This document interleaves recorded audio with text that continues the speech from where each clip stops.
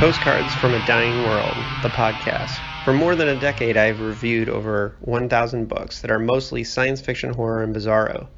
This feed will feature bonus audio I have produced over the years, as well as a monthly digest of reviews based on what I've read each month, plus the occasional bonus material about my own fiction. Thanks for listening. All right, joining me on Postcards from a Dying World is Omar El Akkad. Is that how you pronounce it? I'm terrible with pronunciation, but um, no, that was surprisingly well done. Thank okay, um, well, I appreciate it. I I just um, my dyslexia affects how I see new words that I don't know. So that is, and I, I definitely always apologize for that because I have a name that people always mispronounce. Agranoff. People always say Argonoff for some reason, but um, it is definitely not that. So, The American War is the novel we're talking about today. This is your debut novel, right? It is. It's the uh, fourth one I've written, the first one I ever tried to get published. Okay, so you've already answered one of my questions I have later on. Um, but tell me a little bit about your background um, and where you come from and how that informs this story, because I think that probably has something to do with it, I'd imagine. Yeah, I was born in Egypt. Uh, my family is Egyptian, dating back, I don't know how many generations. Um, in the mid 80s, uh, actually, well, Egypt throughout my life has been pretty um, in a pretty bad place economically and politically, but it was particularly bad in the 80s when my father was trying to find work and he couldn't. And he ended up uh, finding a job in a place called Qatar, uh, which is this tiny peninsula sticking out of Saudi Arabia. And um, it has become since then, you know, pound for pound, the richest country on earth. Um, they have one of the largest natural gas reserves. And so they needed bodies. And Qatar's population is only 10% Qatari.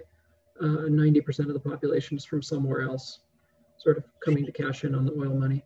And my dad was one of those people. And so at the age of five, I left Egypt and I spent the next 11 years in Qatar. Um, but Qatar is also a place where they work really hard to protect the oil wealth. So you can't get citizenship uh, you can't just show up and get citizenship. There was no way we were ever going to be able to sort of own a house or start a business or anything like that. So when I was 16, uh, we moved to Canada. Um, I got my citizenship in Canada. I consider myself pretty well Canadian um, today. Uh, I went to college in Canada, got my first job as a journalist at the Globe and Mail, which is the national paper up there. And for the next 10 years, I was a journalist. I covered, uh, I was in Afghanistan during the invasion. I was in Guantanamo Bay covering the um, military trials. I was in Cairo during the Arab Spring. I was in Ferguson during the protests. And um, a few years ago, I started working on a novel that sort of took the residual emotional baggage that I had from, from many of these assignments and kind of put them all in one place in one narrative. And that turned out to be American War. Uh, I sold that to Knopf in the fall of 2015. And then uh, six months later, I quit my job at the Globe and I've been making stuff up ever since. Right. Well, and I would imagine that um, you could have written a nonfiction book um, about these issues, but there are lots of nonfiction books about the history and politics of, of the Middle East. Was there was that the motivation for writing a fictional novel? Is thinking that maybe that might be an easier way to get your point of view across? Or was um, it just a fun concept that came to you well well there? That's a really interesting question. I there's two reasons why i never went down the nonfiction book route. Well three reasons if you count my likely inability to be able to pull one off. Like i don't know if i actually have the talent to pull that to pull that off if i'm not allowed to just invent things as i go along. Um, i the first has to do with just um, the difference between questions and answers, I consider nonfiction, journalism specifically, but nonfiction generally, to be a place I go for answers. Who, what, where, when, how. If you don't have answers to these questions, you probably don't have the load bearing beams for a work of nonfiction, even creative nonfiction or whatever you want to call it. Um, I had no answers. I only had question, and fiction is where I go for questions. There, you know, if you read American War, there's there's no prescriptive aspect to it. There is no chapter that says if we do X, Y, Z, we will be able to avoid the worst outcomes. That's not what I was in it for. Mm-hmm. So that drew me towards fiction. Um, The other is just the ability to, to mask what you're actually trying to do. Um, so in the Arab world and in Arab literature, because of the political climate over the past hundred years or so, we've gotten really good at hiding what we actually want to say. And there are very real reasons for that. I mean, there's an author named Ahmed Nagy in, in Egypt who spent two years in pretrial detention because he wrote a book with a sex scene that someone didn't like. So they filed a complaint uh, and he was jailed for two years because of that sex scene. And so you learn very quickly that you um, can't just say the thing you want to say. And fiction is an easier place to do that. One of the really famous examples is Naguib Mahfouz, who's probably the most famous Arab novelist of the last hundred years, the only Arab to win a, to win a Nobel Prize for Literature. He wrote a book a long time ago called uh, Haritna, which translates to uh, Children of Our Alley, something like that.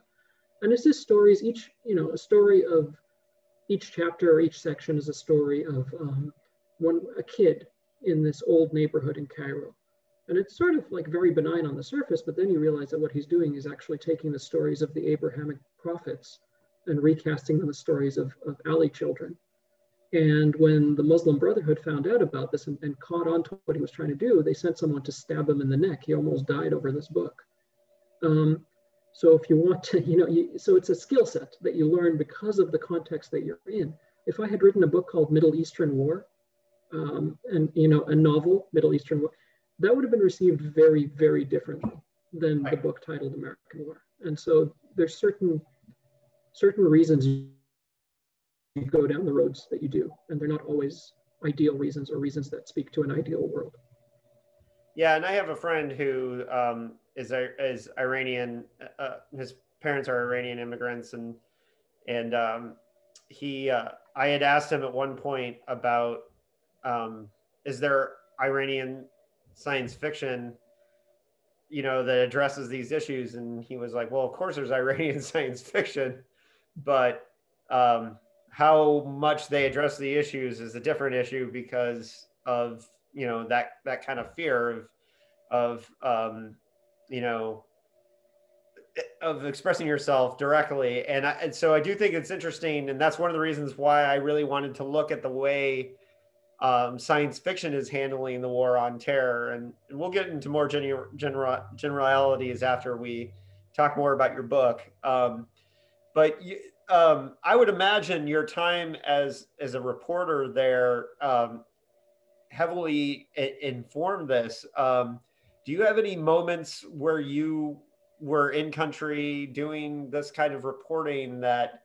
directly related to inspire the events that became the American War?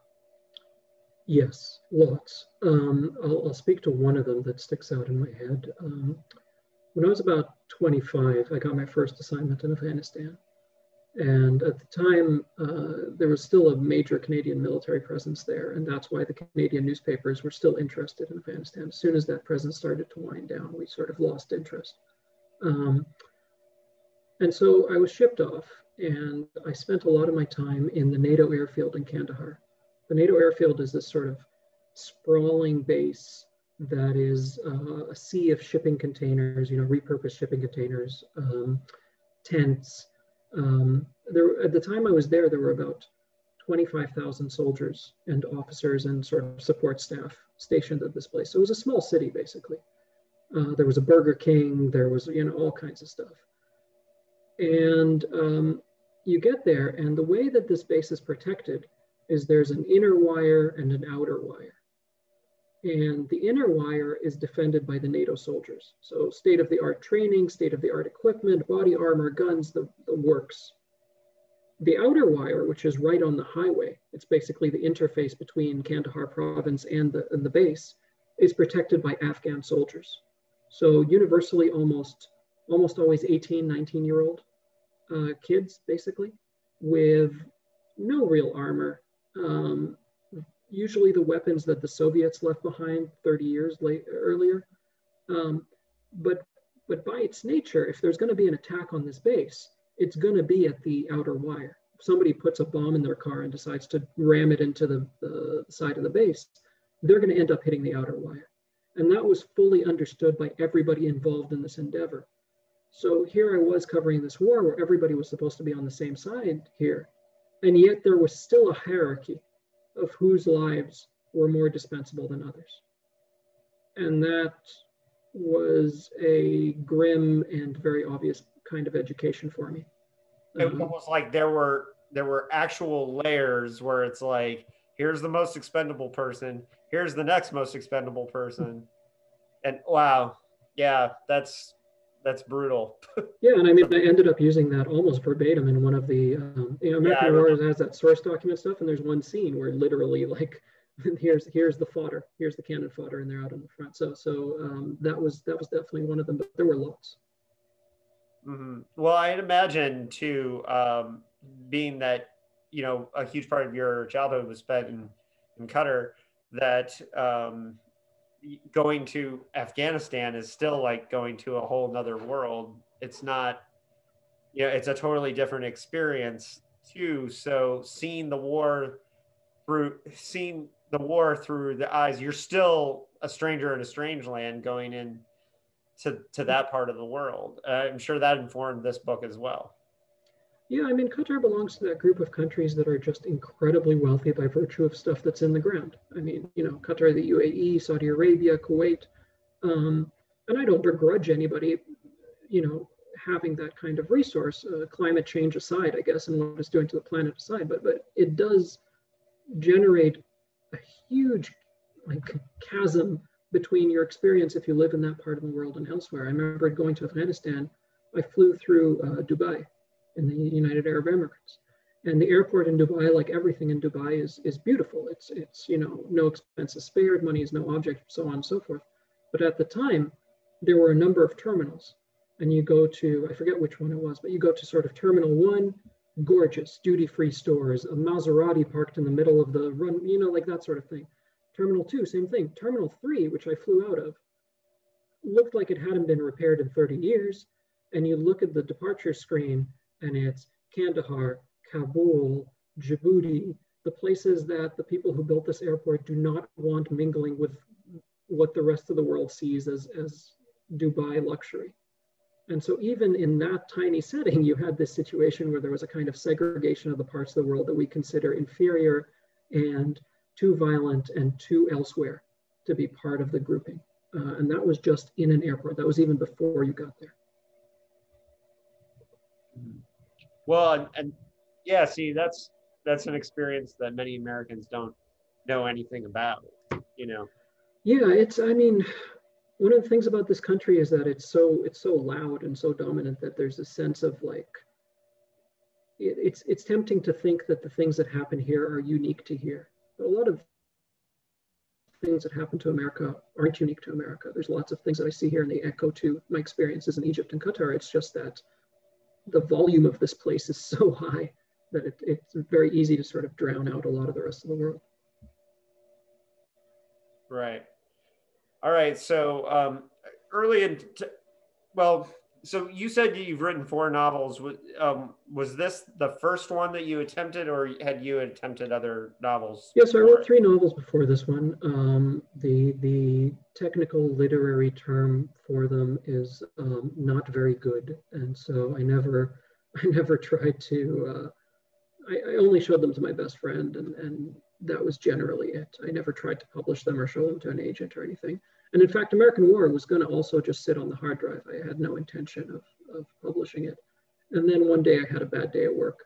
I had a day where I felt like I was just rewriting press releases, and I didn't think that that was a useful um, contribution to the world by a journalist. And so at the end of that day, I, I uh, emailed this literary agent who I'd met randomly eight years earlier and I said, listen, I know that it's every literary agent's worst nightmare when a journalist says, I have a novel for you, but I have a novel for you. Um, would you mind taking a look? And she was kind enough to do that. And three months later, we sold it to Knopf.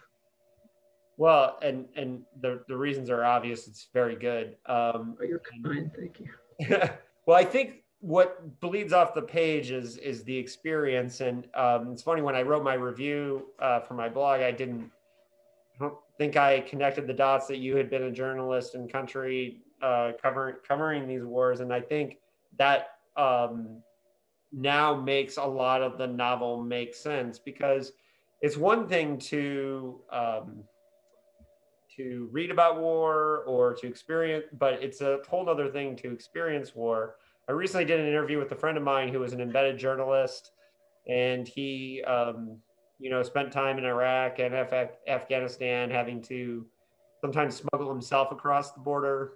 Um, and so when I, you know, talked to him about these things, I realized that, um, you know, getting his perspective is really valuable because um, he has experiences that I, I can't ever imagine. So I think that being a journalist um, shouldn't be the worst nightmare of, of a literary agent to hear from, from you because I think that that provided you uh, an insight into this book that that makes it sing um, for many reasons. So I and, and I was a great fan of it. Um, I want before we get like really um, heavily into spoilers. Um, uh, I want to talk generally about it uh, initially, but um, and we'll give everybody a spoiler warning when we're getting more deep into it because um, there there there are some twists and turns in it. Although I don't really think this book can be spoiled, to be honest with you. Um, yeah, me neither. Uh, but I don't. Yeah, yeah. yeah my, my friend that recommended it to me um, uh, told me a great deal about the book, and it didn't hurt my experience. Um, and uh, so, but the germ of the, this idea, I, I'm assuming you had it during your journeys, or how far back does the, the germ of, of, of this idea go? It goes back a ways. Um, I mean, one of the fun things you get to do after you've published a novel is come up with a very clean genesis story for it. You know, this happened, this happened, then I wrote a book.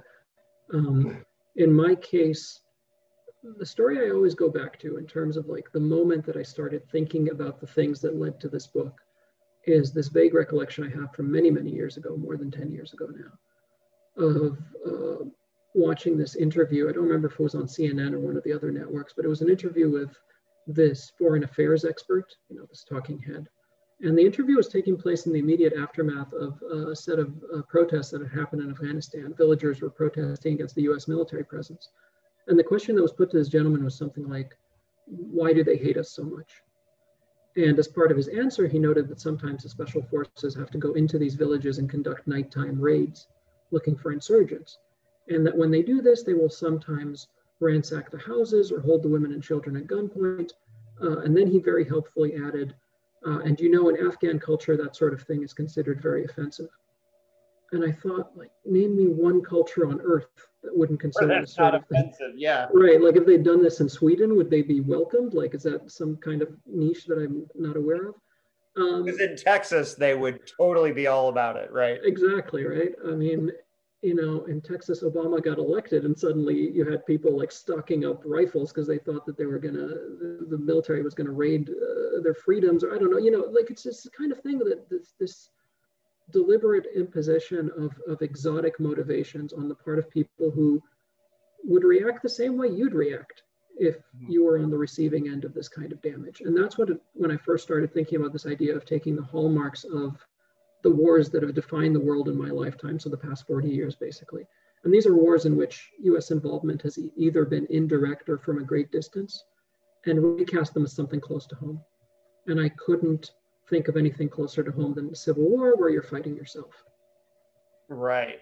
Well, and and I always I think I think of this in the sense of because I'm I'm a radical and have been a radical for a long time politically uh, the moment 9-11 happened i immediately was one of the rare people saying you know like that had an answer for why do they hate us right away where the rest of america a lot of most of america was stunned. I was not one of those people. And um, so from the beginning the idea that this uh, that science fiction is is using genre or speculative fiction to um, examine the issues of the question why do they hate us? And what's going on? It is is actually i think an important thing for the genre to do. And i wish more of science fiction would, would handle these issues. Um, that's one of the reasons why i was glad to see your novel. Now i would i would say for myself on um, i was a, um, working in a high school as a teacher on 9-11 and um, a teacher's aide, technically. But um, I have a very distinct memory. Uh, this was in, in, in, in Indiana, September 11th, 2001. And one of the things that happened for me, which I think is an interesting window into my perspective, is that I was walking down the hallway. I had been in the teacher's lounge when I first saw the stuff on the news. And I came out in the hallway and I didn't know how many people knew what was going on yet. And a student, a high schooler, came running down the hallway saying, Iraq just attacked us. We just got attacked by Iraq.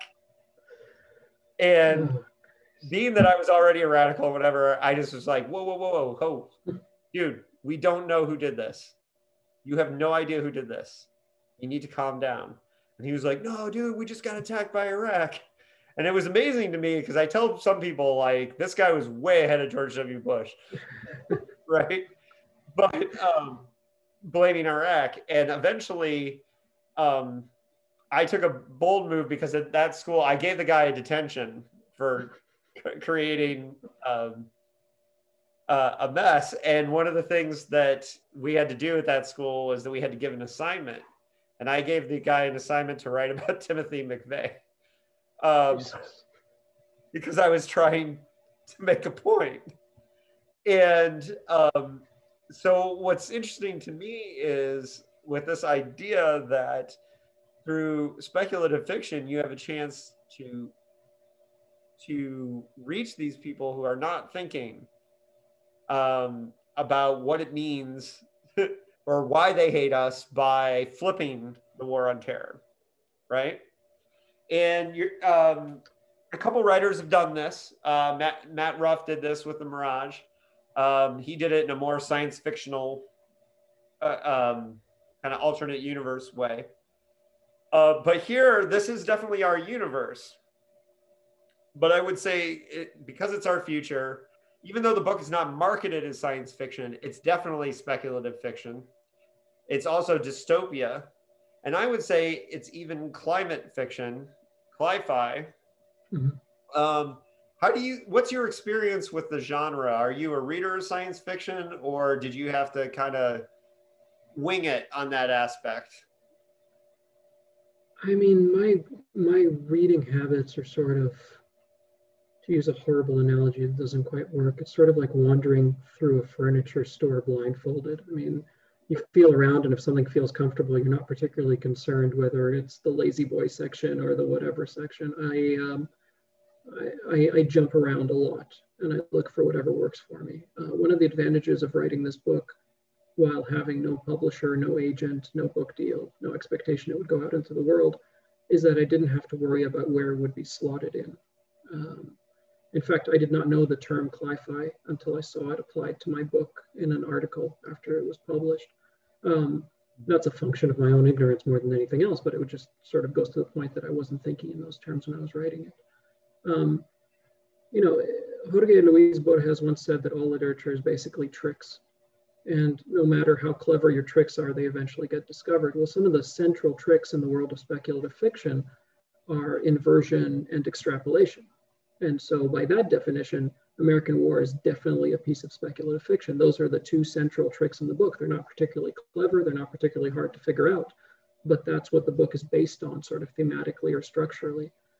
Um, I am fascinated by the places where they bleed right? Where, where the one genre bleeds into the other. So I'm thinking of books like Ahmed Saadawi's um, Frankenstein in Baghdad, which is a retelling of Frankenstein, except now it's, it's modern day, it's in Baghdad, and the monster's limbs are uh, taken from the victims of sectarian violence and car bombings.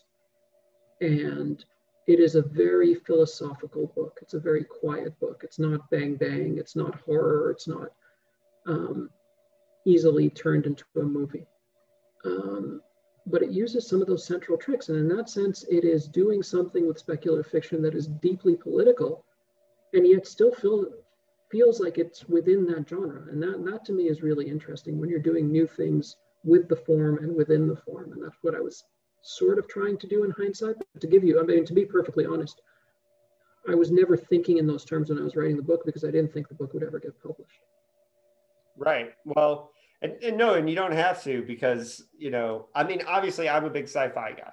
That's like one of you know one of my genres. So I think about it. Um, and uh, I was in the early stages of, of editing a, um, one of my novels when I discovered that cli-fi was a thing, because I again had like you had written one, and uh, like saw that this was the term that was going, going to be applied. But this novel is definitely cli-fi because um, it, the climate change aspects of it uh, definitely play a role in uh, the future future America and the world building. But what's interesting to me is is that um, the world building is such a huge aspect of the American War, and it's interesting for me to because uh, world building is such a you know it's like one of the columns that holds up science fiction. And if you weren't even thinking in terms of science fiction um, but you were thinking in terms of world building though when you were writing it you were think uh, you, you must have because very good. Thank you. That's, uh, uh, that's very kind of you. I, I i was so one of the reasons that the book is structured the way it is uh, and, the, and the structure of it is that you have this narrative but in between the chapters you have these fake historical documents from the future because the book is set about you know 50 years in the future and um, those fake historical documents, you know, letters from the governor, oral histories, you know, clippings from newspapers in the future, all of that was never intended to go in the book in the beginning. It was just a means for me to sort of keep track of this fictional world that I was creating. And because I trained as a journalist and worked as a journalist for, for 10 years, I was very familiar with, with bureaucratic speak and freedom of information requests and the kind of that kind of world and so I decided to keep track of important events and dates using those documents. And then much later on in the process, realized that if I inserted them directly into the text, I could do something really interesting that I couldn't do with a straightforward narrative. So some of the world building came about that way. It came about beginning with, with like a crutch for me to keep track of this world that I was creating because it had so many moving parts, and then slowly working its way into, into the text. Um, it is one of my favorite things to do, to draw maps of fictional places, to, to wander around in my head in these invented locations. And one of the first things I did when I was conceiving the America in which this, this story takes place is I went to one of these websites that lets you visualize sea level rise and I crank that dial up as high as it would go, which is about 70 meters or something. And suddenly the coast is washed out. And um, in fact, the place where the story starts, southern Louisiana, that place is also washed out, but I really wanted to start it there. So I moved it up on a hill just to sort of get that. So you start messing with the contours of the real world in a way that, that is not only incredibly empowering, um, but also allows someone like me who's been a migrant since the age of five to, to not think of national borders and national sovereignty in, in ironclad terms, to be able to mess around with them. That, that also feels very empowering. So certainly the world building aspect of it was the place where, where I was closest to that childhood joy of, of sort of really living in a made up place for a while. A book is a made up place in which to live. That, that was a really invigorating thing. And it reminded me of why I fell in love with this stuff in the first place. Mm-hmm. Well, no, well, and it, it comes out and, uh, uh, through the book. So we're going to get into um, a little bit more of the spoiler territory after this question. But um, the last, just for anyone out there who hasn't been convinced yet to, to read the American War, um, it seems to me that the, um, and you kind of already said this, but this is a question that I have written. I, I, I want to make sure that we clearly say this for, for people, but it seemed to me that the mission of this book was to, you know, flip the war on terror to make people here realize what it would feel like if this conflict was happening on their soil so they could get an understanding of of, what it meant was it, would you say that's the mission statement that you kind of came with when when you when you started writing this book I think so. The book went through 12 drafts, and the original first line in the first draft was uh, revenge is recursive. So I was trying to get at this idea that damage begets damage. So it's a book about radicalization, how somebody becomes radicalized, how somebody can be turned into a terrorist or an extremist. But thematically, or I guess polemically, um, it is a book that argues that there's no such thing as a foreign kind of suffering. Um, those people on the other side of the planet who are on the receiving end of the bombs are not behaving in some fundamentally exotic way. Um, you know, that's that's. There's a line in the book where one of the characters says the universal slogan of war is, uh, "If it was you, you'd have done no different." And I think that's generally the the argument that the book is trying to make. Mm-hmm. True. Okay, we're getting into more direct spoiler territory um, here, and um, it seems like the fractures of this future America um, are inspired by tribal differences. Um, it seemed like Iraq or Syria seemed to be the uh, influence, but you know that's just my outsider take in reading this. How did you develop the the fractures? Did you spend a lot of time thinking about like um, what culture in the South looks like, or because a lot of it takes place in the South? Yeah, I mean, I, I went to the South a lot. Of, for the last four years of my 10 years at the Globe and Mail, I was based in the US. So I was basically a foreign correspondent covering the United States for a non American audience. Mm-hmm. And I traveled the country a lot, and a lot of my stories were in the South. Uh, I went to Louisiana to cover climate change. Uh, Southern Louisiana is disappearing at the rate of about a football field of land every half hour. Um, it's literally melting into the, the Gulf of Mexico. And once I saw that environment, I knew that that's, I'd been thinking about American War as a concept. And I, I, as soon as I landed, I knew that this is where it had to start because I don't think of American War as an American book. It is concerned with things America has done, but it's not concerned with telling an American story. This isn't how I think a second civil war would go down. None of the book is a literal attempt at prophecy or anything like that. Um, but it is concerned with things America has done to and in the world. And since it is a work of inversion, I wanted to start it in a place where the world was doing something to America. Because climate change does not care in the slightest what borders it's violating. Um, one of the things that I would, I get, in, I get in a bit of trouble for saying this, but one of the things that I, that was strange about being in the South was that I always felt this, I've never felt at home anywhere. Um, just by nature of the life I've led, I've never been comfortable anywhere. Um, home for me is people or sort of relationships. It's not a place. Mm-hmm. And there was this, this, there was a very strange sense of, of not comfort, but, but just sort of recognition whenever I would go to the South. And I never fully understood why, because on every overt criteria, this place was nothing like anywhere I'd ever lived. But I would constantly find myself meeting people who were incredibly hospitable, but also incredibly tied to some very old traditions and ways of thinking. Some of them good, some of them horrible, and God help you if you challenge them on any of it. And I thought, well, this is what it's like to grow up in the Middle East. You're surrounded by people who are incredibly hospitable, tied to some very old traditions and ways of thinking, and God help you if you challenge them on any of them.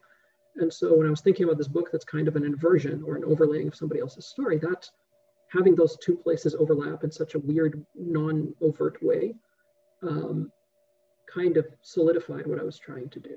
Um, and I'm sure covering the Ferguson, um, my, uh, it was Michael Brown that was shot there, right? Um, yeah, yeah. So I landed the day after they the jury decided not to indict his killer.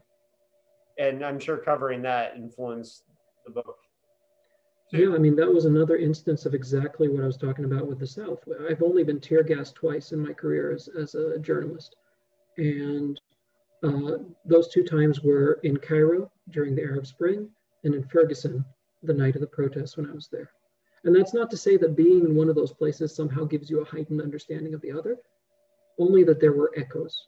So the heavily militarized police presence, these light armored vehicles, these military vehicles, um, people who are so fed up with injustice that they're willing to stand in the way of these, of this militarized presence.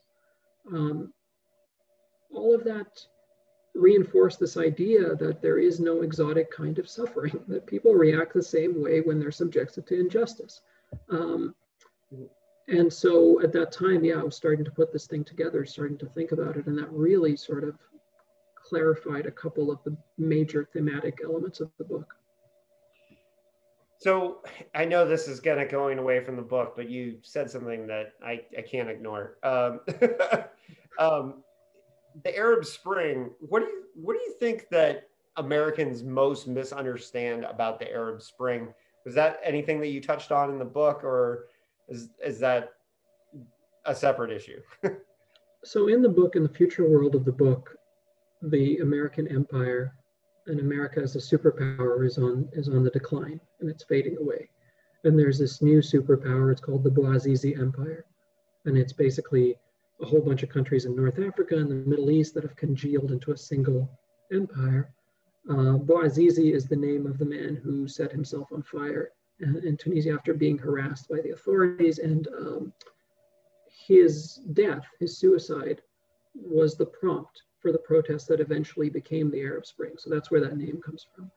And in this future world, I've, I've sort of, I posit that there was one Arab Spring, it failed. There was a second, third, fourth, and then they got it right. And then they, they finally won. And the result of, you know, the successful Arab Spring, the fourth or fifth iteration, I forget which, um, then creates this new empire. Basically, I took the American creation story and recast it as a story of, of the creation of a new empire. Um, so certainly seeing what the Arab Spring was, which was people so fed up that they were willing to risk their lives. And many people died, including, you know, people I know, people who, who grew up in the same neighborhoods as me in Egypt and, and, and sort of risked everything. I mean, Tahrir Square is, is down the street from where I grew up until the age of five, from where I lived downtown. Um, you know, for, for folks on this side of the planet, there really is no consequence for not understanding that movement. And I, I don't say that as a criticism, that's just the reality of being on the privileged side of the planet. Um, but one of the things, when you look at the protests, the initial protests were slogans were very short and they were basically like three words, you know, justice. One of the words that they were screaming was bread. And so you think like, why are people out on the streets risking their lives screaming bread? Well, bread was an analogy for cost of living. I can no longer afford bread to feed my family. That is not some kind of exotic Middle Eastern or North African thing. That brings people to the streets in any context, any society you can think of. And so a lot of times I go back to this thing that William Gibson once said, you know, the future is here, it's just not evenly distributed. Um, a lot of these places that when you live on this part of the planet, it's easy to think of as being very far away and very different are actually an extrapolation of the injustices that are present in this society. It's not like you are immune to the same forces or something like that. It's it's it may well happen here one day, and in many in many parts of this country, it's already happening. Uh, it's just happening to people that, at the institutional level, we don't care about. Yeah, what comparisons do you see between having witnessed the Arab Spring and um, kind of the um, uh, well, for a kinder word, clusterfuck that America has become in the in the aftermath of COVID. Because I mean, thankfully we're currently holding it together, but the next 48 hours are going to be really interesting um, when when we're recording this. Yeah, I'm trying to think of, of how much of what we've said so far is going to seem completely irrelevant after the third, you know, like who knows what's coming down that pipeline. Yeah. Um, okay, so one of the things that worries me the most about, about this country and is based on my experiences living on the other side of the planet is what happens when you have a class of human beings in power. And I, I don't want to be coy about this, I'm talking about the Republican Party. Yeah. Um, a class of human beings in power who fundamentally believe that there are two groupings of people. There's the upper grouping who should be the first to benefit when anything goes right. And there's, there's the lower grouping of people who are the first to suffer when anything goes wrong. This is fundamentally, in my view, the belief of the Republican Party. Uh, in a sense, they have an inner wire and an outer wire. Mm. And we can sort of, you know, make distinctions on whether they believe that the axes that that happens along is an axis of wealth or an axis of race or whatever you want to talk about. But fundamentally, I think everything the Republican Party does is, is predicated on that belief. Look, I grew up in a part of the world where that is also the case, right? Like, yeah. there's here are the people who will suffer, and here's the people who will benefit. But what you're talking about is not metaphor. We've seen it in the last couple days that Trump, at two different rallies, not once but twice, left his people stranded to freeze death um, without shuttle buses as soon as he flew out from his rallies. So the inner wire and the outer wire that you're talking about is, you know, when that happened the first time in Omaha, my first thought was I've never seen a metaphor brought to life so much in reality. It's like it's it's insane. And and you know, I, I have my problems with the Democrats too, but um, there's a difference between like actively being evil and just being not so good at standing up for yourself. um, but but yeah, I see what you're saying, and and and and I but I think Americans, you know, it was interesting to see because I didn't see as many people supporting the Arab Spring as much as I thought they would, and um, and when it kind of came and went, you know, it, it is an interesting thing in your novel that that you talked about it being like the fifth or sixth time that that that it worked. Um, that separation between the ruling elites and the the general population. Um, it's funny for Americans to think that they're so different from that, that they think that just because on November 3rd they're able to color in a box on a piece of paper that that that that they're not you know suffering from the same things is is is very naive and that's one of the things that I appreciated about this novel is it's a it's a good uh, wake up call for those who are smart enough to read it the right way. I mean, thank you. It's it's uh, you know there are clearly institutional differences. Uh, the, the, the democratic institutions of the United States, as much as they've taken a beating, uh, are still far stronger than anything that exists in the part of the world where I grew up. So a lot of the institutional systems are capable of withstanding the stress. I'm just saying that the forces at work are not fundamentally different. Um, and the place you end up is not fundamentally different, which why, why one of the things that I worry about when I see protests here um, is what I saw in, in Egypt, which is this fixation on the figurehead. You know, we're going to remove the president.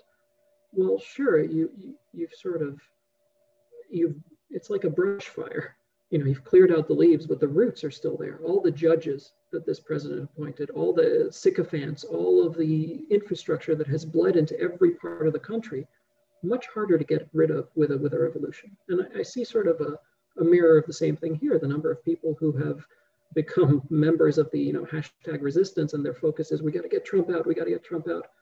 Well, how do you think Trump got to where he is? There's an entire infrastructure of rot that it's very hard to, to, to fix or reform via the means of popular protest. Popular protest works really well when there's one guy's face you can put on a poster. Um, and so I worry about if Trump is not reelected and we get Joe Biden, who I mean, again, he, he, he, I don't agree with everything he has to say, but at least he's someone who can be measured along the normal political axes.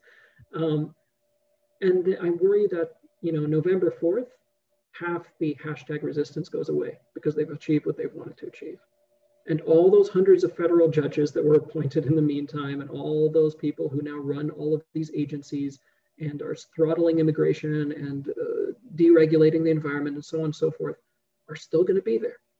Except you can't put all of that on a poster. And so I, I worry about that in the long run.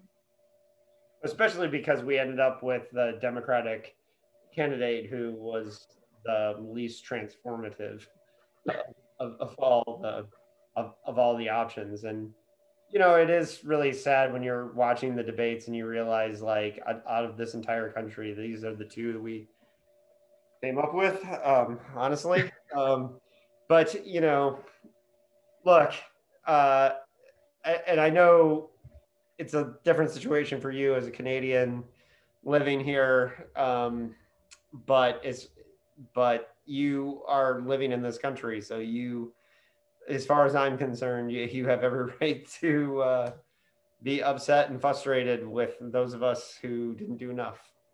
Um, but anyway, so the American War, I did notice that um, the one of the pages I dog-eared was um, was specifically 139, a page where um, the things we were just talking about are very clearly explained by a visitor from the Middle East, and so um, uh, the fail. It's one of the scenes where he talks about, you know, we had to do this a bunch of different times, and this was obviously something that I caught on to um, when I was reading it enough that I dog-eared the page. But um, this book has many themes, many ideas that um, that are seen through the eyes of. Uh, how do you do you pronounce it Sarat? Um, because it's yeah. Sarat. In my head, it's always Sarat, but yeah. Sarat, yeah, um, the main character. Um, and her radicalization in the book is one of the, the key through lines. But you did some interesting things with the structure of the novel too, because um, part of the way through, uh, we kind of switched POVs to um, to a, one of her nieces, I believe it is. Um, I've, it's been like two weeks since I read the book. So, um, which shouldn't be that long, but I read a lot, so I'm ingesting. No, I hear you. It's it's also a kitchen sink book. There's a lot. There's a lot happening in there.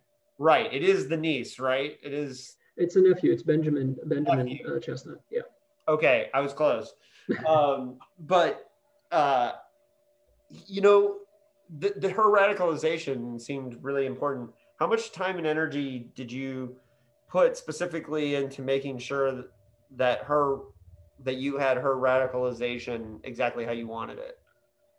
A lot. I um, started as a full-time journalist in, at the Globe and Mail on a Monday in, I believe it was 2006, in the summer of 2006. And that Friday, we had the largest terrorism arrest in Canadian history. We had this thing called the Toronto 18 case, which is these 18 kids who, who uh, and some of them were kids, some of them were like 17 years old, who had all these grand plans of uh, blowing up the public broadcaster and beheading the prime minister and all this nonsense. None of it came came to pass. They were being watched the whole time.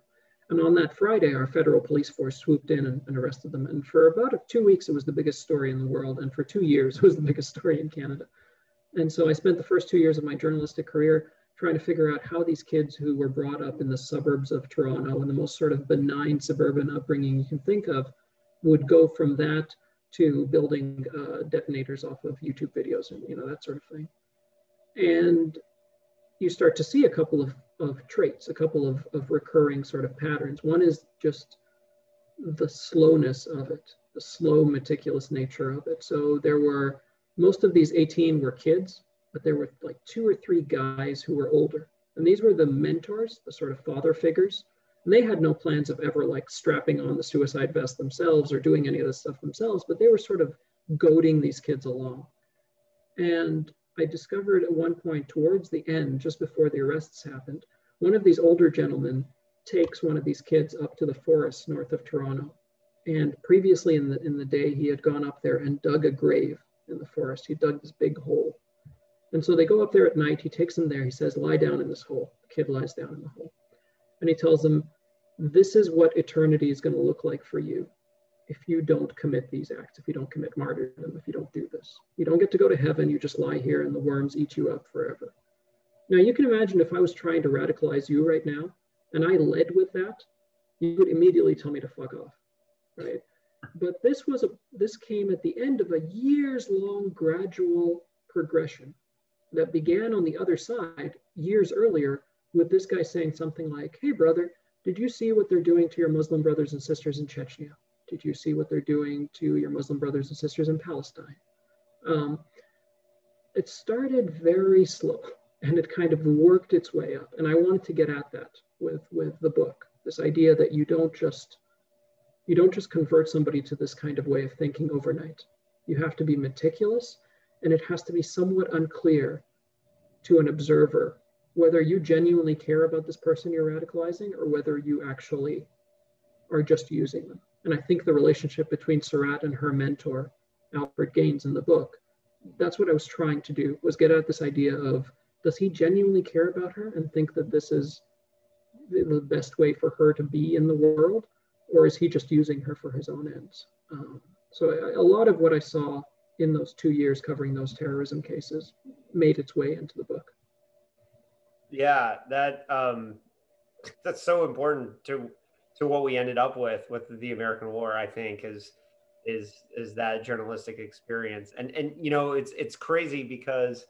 Um, look from my perspective i i, I am a radical um, and i spent i'm uh, spent a lot of time in activism through environmentalism and animal rights and um, have definitely been called a terrorist before um, uh, for for my um, activism. And I, you know, it's funny because when I write about radicalization with characters, like a lot of times, I can look in the mirror, right? I can look and see in my experience, and um, and I think that it's a tricky thing because there there's a really easy way for writers to trivialize how radicalization happens if you know they just think oh their mom was killed and now they're going for revenge. Well that's how you set up an 80s action movie. That's not necessarily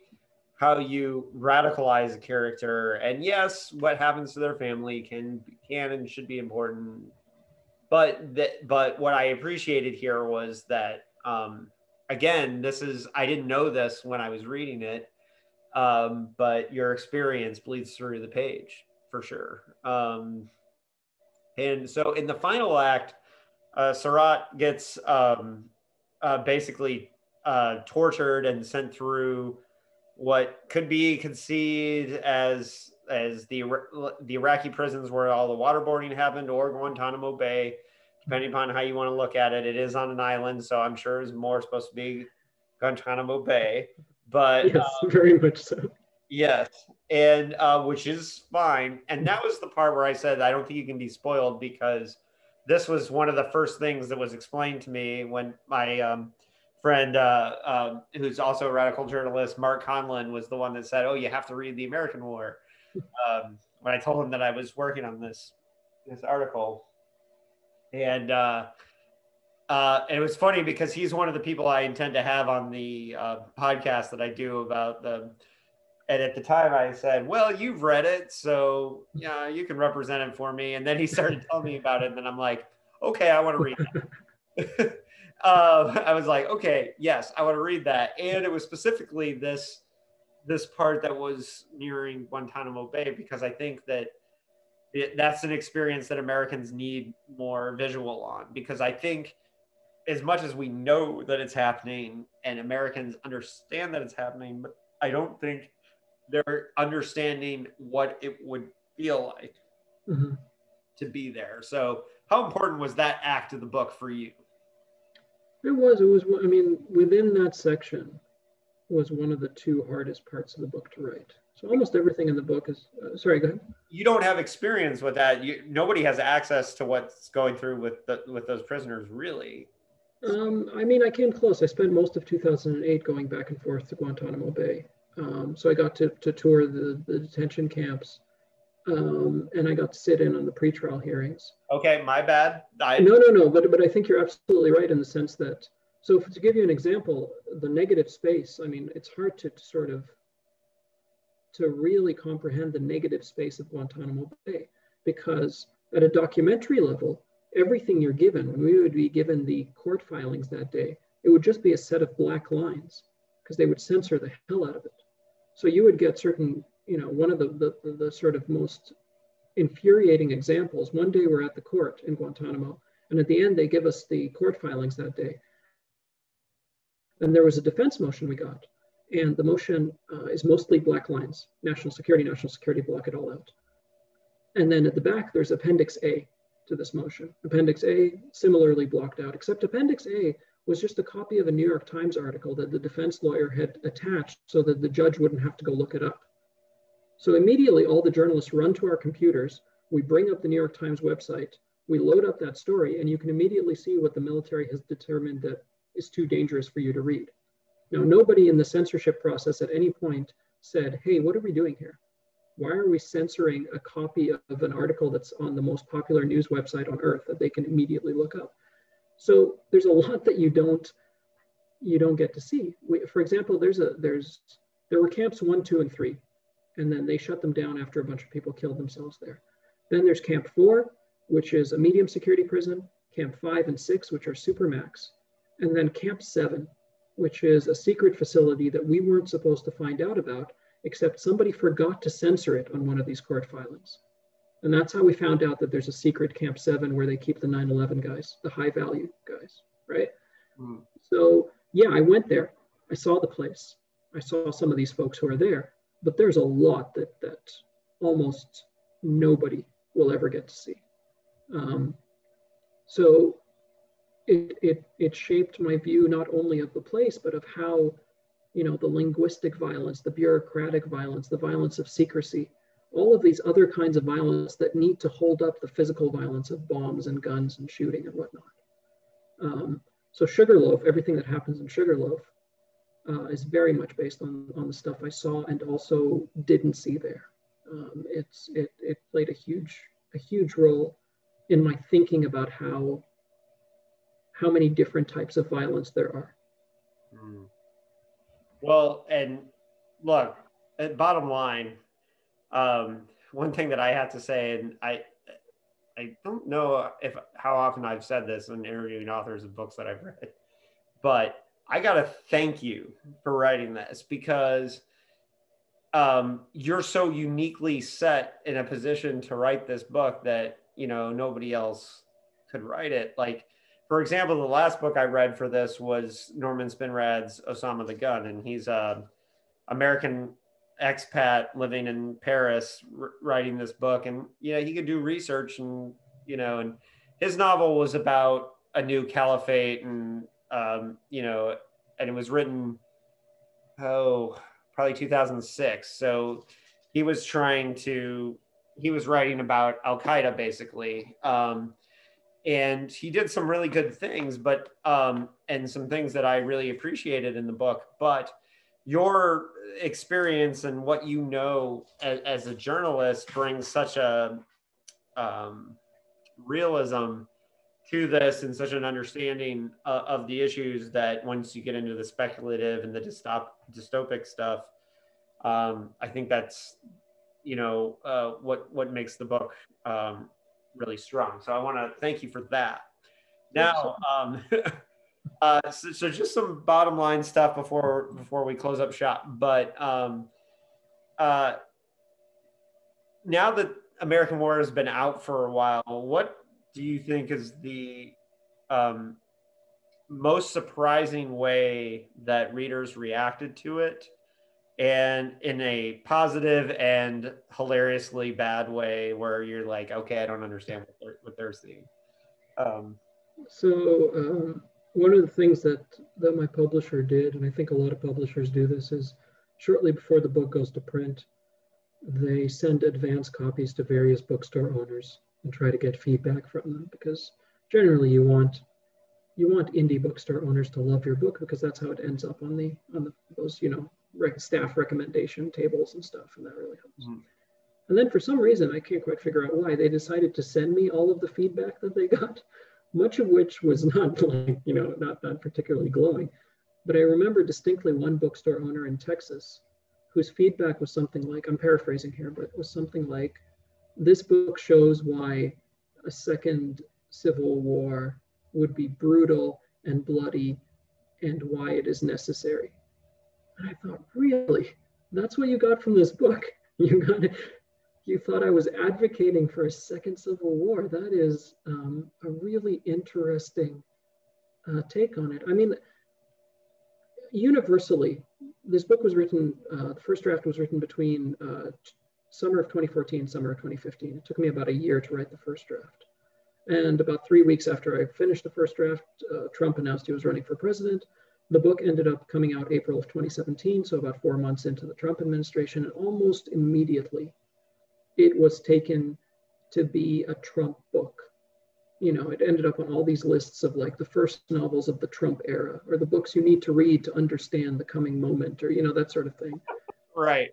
And a lot of the criticism sort of seemed to assume that I sat down in mid November 2016 and wrote this book overnight kind of thing you know like that it was very much a, response to what had happened and and you know that's not how books get written that's not you know. um, so there's been a lot of that um, but also every now and then you get somebody who knows enough about the Middle East to know that camp patience is a reference to uh, sabra and Shatila. Uh, sabra is the Arabic word for patience. So they, oh, they, they think, okay, you're referencing a massacre that happened in a refugee camp in Lebanon 40 years ago. Okay, I get that, you know. Mm-hmm. Um, I, I subscribe to the notion that once the book leaves the author's hands, it doesn't matter in the slightest what they think of it or what they think it should be. Um, and it was difficult for me to accept that early on, but it's become a very comforting thing for me to, you know, just let go and just watch the curling stone kind of move down the ice away from me and, and uh, it'll go whatever direction it goes.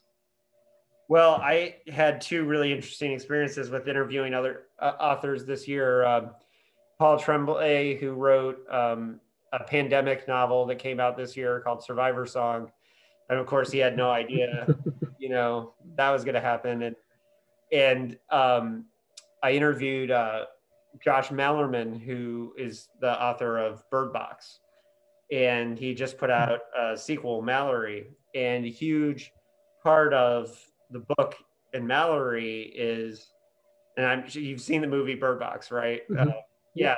So a huge part of the sequel is a de- is basically characters debating whether they need to wear that blindfold anymore. um, and he had no idea that the mask debate was going to be a thing, but Mallory's son in the book believes that they can do something better than, than the blindfold, that they can they don't need it anymore. That, that, there's too much of a crush and it's you know it was funny because when i read mallory this year and i i was just stunned you know like and so when i interviewed josh he was just like no had no idea. It's just total coincidence. And so much like your uh, first book of the trump era um, but yeah i mean it's got to be something when like people you know, this is being recorded November 1st. So, you know, most people will be listening. Well, everyone will be listening to this after election day because I'm not putting it out tomorrow. But so whatever happens, happens. But um, I've definitely seen reviews of the American War in the last that that people have read it in the last year that feel that that tension or that idea of a second civil war being closer than ever. Um, and well, I don't personally think it is. I that tension is real. That that concern is real, and I think that it it makes the American War a different book um, in these times. Just like Mallory is a different book than when Josh wrote it, because it got uh, unleashed in a virus year. You know, and yeah. I, coming in, especially in the wake of George Floyd um, which I think changed the game forever. Um, because I think the two Americas, um, I think, well, two, there might be more than two Americas here, you know, but the divides that, that are going on are very hard to, to ignore. And I think this novel really speaks to that. And, and that's one of the things that, that I really appreciated about it. That, thank you so much. Go, Go ahead. No, no, I was just going to say thank you. That's that's that's very very kind. Well, yeah, and and and I, um, you know, I'm going to be kind of e- evangelical about this book and wanting people to to get out there and read it. Um, uh, you know, it's it's funny. It's that I think to me the idea of the Arabs, the the consecutive Arab Springs that didn't work. That could conceivably happen is one of the speculative notes that I really enjoyed in the book. I think that's one of the reasons why I dog-eared it. Um, what do you think, in your experience of having traveled um, um, over overseas and covered these conflicts? Um, what do you think is the biggest takeaway that um, you would hope that the? I know you said it's out in the reader's hands, but um, but what do you think is the the primary thing that you you want people to get out of reading the American War? I mean, I, I, on a very surface level, I hope that it's taken as an anti-war book. Um, I hope that it is taken um, as a starting point to think about people and situations and, and the great currents of geopolitics that if you live in this part of the world, maybe you have the privilege of not having to think about. Um, you know, I, I get a lot as a result of, of my name and my religion. And, you know, a Muslim guy named Omar wrote a book in which Americans are killing each other and, and 100 million of them die and so on and so forth. I get a lot of like, well, if you don't like it, go back where you came from and, and that sort of thing. And I get that. Um, you know, there's 300 million people in this country. A lot of them are going to turn out to be assholes. That's just statistics. Um, I, I, I do want to push the idea that what you should really be terrified of is not the criticism. It should be the day when the criticism stops. And what I mean by that is, you know, after the Arab Spring fell apart, and after in places like Egypt we replaced one dictator with, you know, we had elections, we elected a bumbling idiot, we got rid of the bumbling idiot, and now we're back to a dictatorship. And that broke my heart to such a degree that I don't bother criticizing Egypt anymore. Mm-hmm. Right? I'm never going to write a book that is, uh, you know, can be seen as, a, as an allegorical criticism of that country. And that is such a grim thing. And the day that I stop criticizing the United States is the day that I have lost hope completely in this country. And I think the same is true for a lot of those people who are out on the streets right now yeah, it looks bad when the McDonald's get, gets burnt down. And, and it's all very terrible and, and property loss and so on and so forth. The day that the terrible things keep happening, but the people stop responding, is the day that your, your society has been broken in a much deeper fashion. Um, so, you know, I'm going to keep criticizing the things I don't like about this country for as long as I write. Um, and, and if I stop, it'll mean that I've lost hope. It'll mean that I think that this country is irreparably broken. So if you're looking for something hopeful in what is otherwise a stone cold bummer of a novel, uh, it's that. Um, what is there a way that we can get more um, Muslim voices writing speculative fiction? Um, because I think that's one of the the real strengths here is that well, I mean, like um, Osama is Lavie Tidhar, which is he's Israeli. Um, Norman Spinrad um, is Jewish as well, um, uh, not practicing, but uh, you know, culturally. Um, and so a lot of these people that are writing these speculative fiction are, are not coming. And that's one of the reasons why I realized I had to read your book is I wanted to get a Muslim perspective, but um, and I know it's it's part of the thing is is that we're probably not going to get a lot of that. I, I don't know though because I say that, and I the last year I've been discovering how much Chinese science fiction there is that I didn't realize existed. Um, but like, what is there a way that we as readers can encourage more um, Muslim voices to to strike out into speculative fiction? So that's a really interesting question. Um, there's there's a billion plus Muslims in the world, right? And and culturally, um, it's it's very varied. The most populous uh, Muslim nation on earth is Indonesia. I know almost nothing about Indonesian fiction. Um, part of that is my own ignorance. The biggest part of that is my own ignorance, but also uh, it is a fact of the publishing industry that a lot more English language titles get translated into other languages than other languages back into English. There's a very famous story in the 80s of uh, Edward Said trying to get the work of Naguib Mahfouz translated into English, and all the publishing houses keep turning him down. And finally, he says, Listen, this is the most famous Arab novelist alive. Like, if you're going to translate somebody, you have to you have to start with him. Uh, and one of the publishers tells him, "Well, we'd love to, but you know, Arab Arabic is a very controversial language." And I think about that phrase a lot because it's there's a lot buried in there this idea of a language being controversial. Um, I think that the best thing anyone can do in this kind of situation is, you know, not so much go out and read more Muslim voices, but just just be cognizant of how wide that spectrum is. Hmm. Um, you know, the, the, the famous books in the in the in the category to which American War generally belongs are basically 1984, uh, The Handmaid's Tale.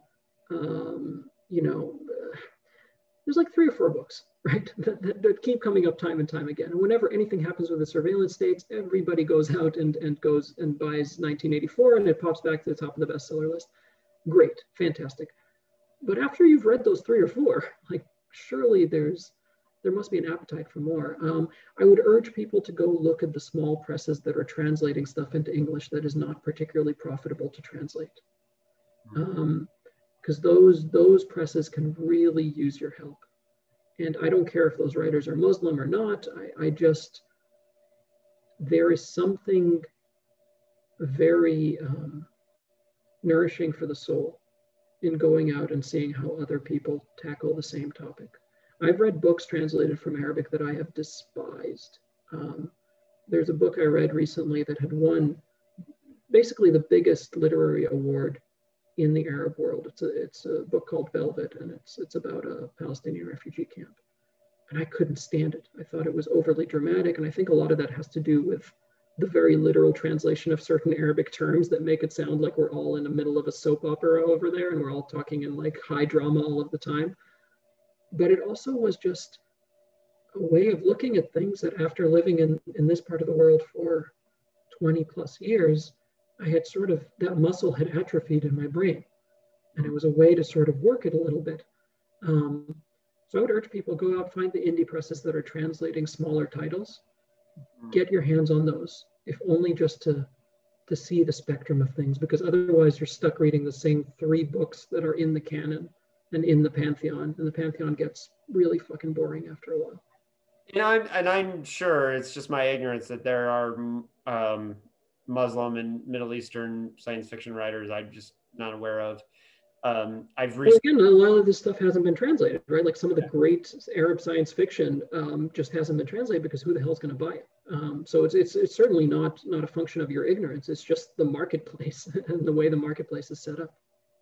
Well, and and we've been really lucky with the success of the three body problem that um, mm-hmm. Chinese science fiction has started to um, get translated now. And um, I have a, a, friend who um, has a business doing Japanese translations, science fiction and horror. And it's funny because um, I think he would love to have a success like that that propelled a lot of other people to, to read the Japanese stuff too. Um, but and I'm sure it's out there. And in the process of looking for this article, I'm sure I'll find it. And I know I want to read um, uh, Frankenstein in, in Baghdad. That sounds incredible. Um, but uh, uh, Omar, this was awesome. Uh, I could talk to you for a long time um, about just uh, what's you know your experience as a reporter um, i have my stepbrother covered um, central command in qatar uh, as a reporter. And um, i got i talked to him about his perspective of being there but again it's within the wire you know? And i think um, my friend who is the embedded journalist and when, when you guys are, are out there that it's underrated how important that reporting and bringing it back to, to our part of the world uh, is. And because I'm a, a, big believer in speculative fiction, um, I think um, what you did with this book is, is, is really important because I think sometimes it's like the sugar coating on on um, something that would otherwise not taste well going down. Um, and uh, uh, it's a very entertaining book um, uh, beyond the fact that it has really good things to say. So, what's coming up next? You have another book that's coming out here soon. Uh, I do. I have a book that's coming out in. Uh, I'm just finishing up actually. The, the final edits is coming out in July of next year. Uh, it's called What Strange Paradise. It's a very small book. It's a very quiet book. Um, if you loved American War, you're probably going to hate this thing. Um, so I have no idea if it's going to be commercially or critically successful in any way.